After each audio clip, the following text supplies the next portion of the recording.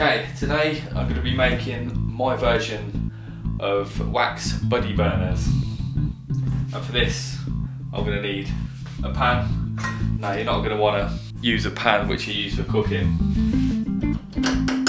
because we're going to be heating some paraffin wax up.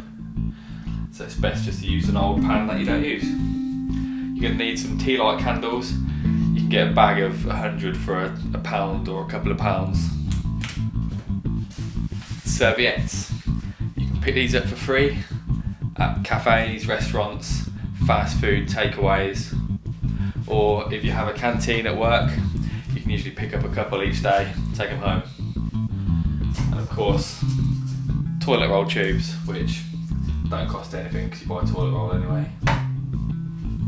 Now I'm going to take these metal cases off the candles now.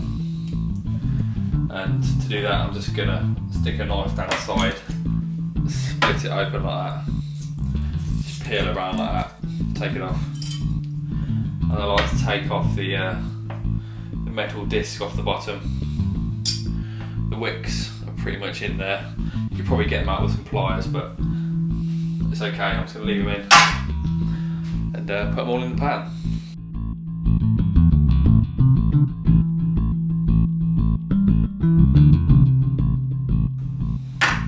Okay, I've put the heat on low on a medium ring. I don't want to put a high heat on it. I don't want any risk of uh, any fires. So while I carry on doing these, I'm just going to let that start to heat up the candles and melt the wax.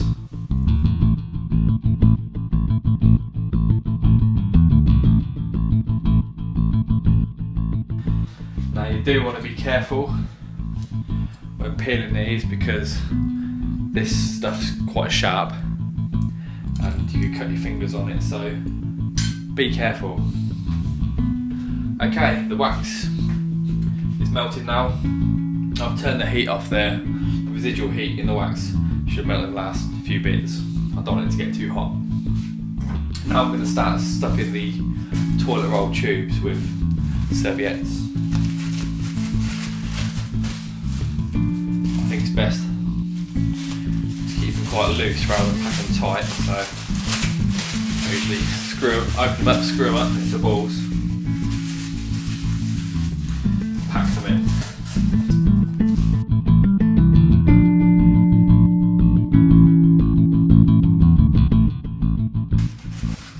I like to just push them from each end like that every now and then.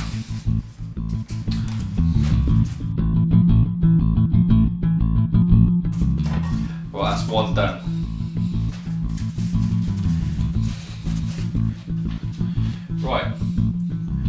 Carefully pick your pan up.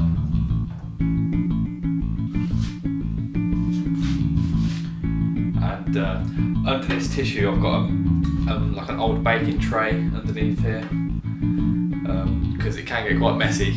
you don't want to get wax all over your work surfaces Right, you want to slowly, very slowly drizzle the wax into these. Poured it a bit quick at first and loads of it's just poured over the sides. But I'm going to get that wax back in this pan, heat it up a bit more and pour it back in again soon. I'm just going to discard these uh, wicks.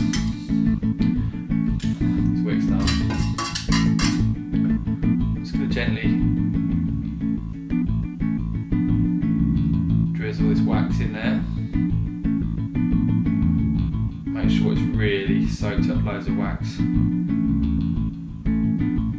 Then whatever's left in here, you can either pour it back in here while it's warm still,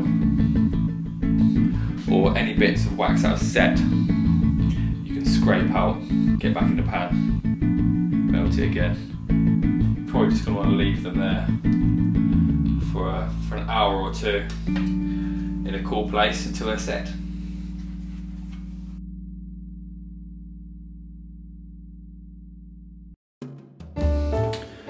Okay, so I've left those for two hours and let's have a look.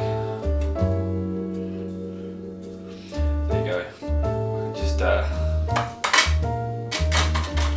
leave that in there for next time. I can remelt that. I like to use a hacksaw for this. You could probably try using a knife.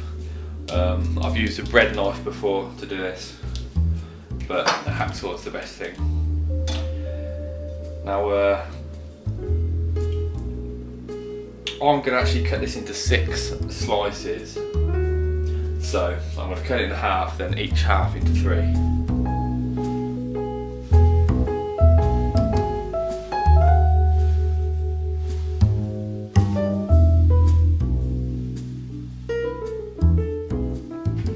And there you have it is our little burners.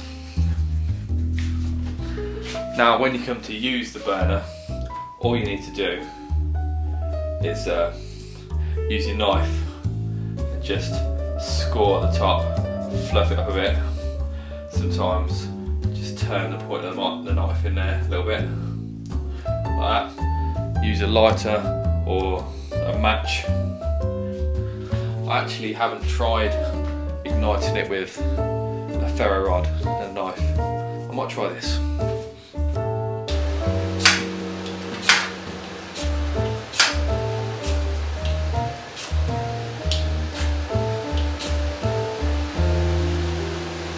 There we go.